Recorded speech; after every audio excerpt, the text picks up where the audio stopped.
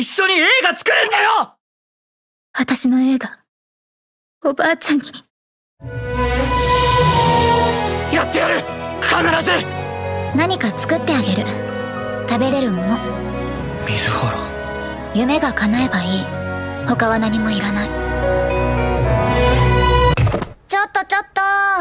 そんなにイチャイチャしてるなら、付き合っちゃえばいいのに。はあの八重森ミニって言います。